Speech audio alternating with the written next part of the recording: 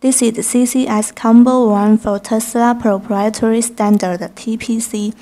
This adapter allows for Tesla owners use national DC charger stations which with CCS Combo 1 plug.